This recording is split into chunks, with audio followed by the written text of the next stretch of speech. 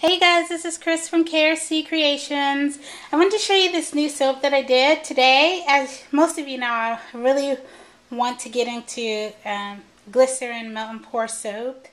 And actually, um, this is a melt and pour soap. And what I did was, um, it took me two hours to make this soap because I made so such a mess and I thought it was going to be horrible and a mistake and everything. And I actually took it out and I told said to my daughter, I'm so disappointed because this is such a mess, but you never know what happens when you cut uh, the loaf. So I'm pretty pleased. What happened, um, I put some slivers of orange and white in a kind of a darkish black gray and I didn't think I did that right. I didn't think I had the temperatures right. But obviously they came out pretty good. And then what I did, um, I didn't really put these on until after. What I did is I took my um, sealer for my shrink wrap and I melted the tops a little bit and then I stuck some candy, um, Halloween candy. You can see they have ghosts and yellow and white. Goes along with the white and the orange in here.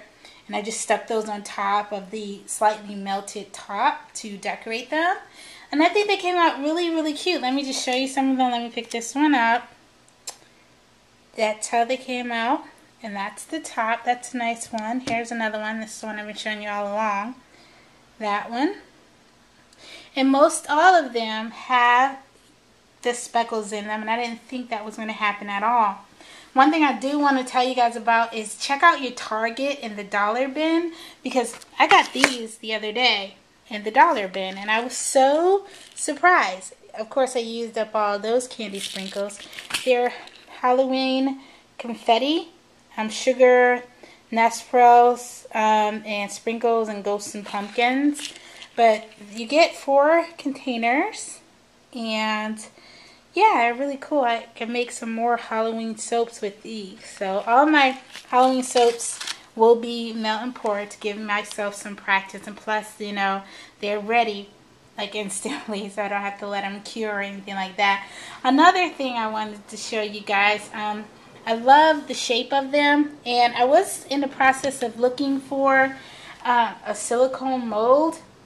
I actually used one of my wooden molds and poured it with the freezer wrap but that didn't work out too well so I was like okay I have to go buy a silicone mold and I was like huh I don't know you know how I like to take a non-traditional approach to the traditional approach. So what I did was I was in Meijer this morning, which is a store here, and I found this. It's the Rubbermaid Ice Bin, and I, I'm going to show you the inside, okay? This is the melt and pour, but it's deep. I poured it up to about here, and it got the height of the soap, and see my mess. Just It was just a disaster. And I was able to get seven really nice slices out of this and it came out of this perfectly. Look around the bottom, there's nothing left. It came out perfect, no struggle, nothing. It just came popped right out.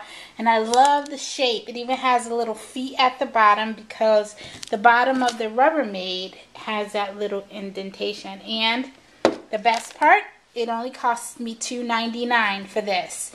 And I got two. So a non-traditional approach to um, and a, a, traditional soap making thing. So I don't know how long this is to last, um, but it's better than paying $30 for a silicone mold right now when I'm still just learning. So um, and testing and doing all this other stuff. So I just wanted to show you this. Uh, my phone's ringing, so I'll talk to you guys later. Bye.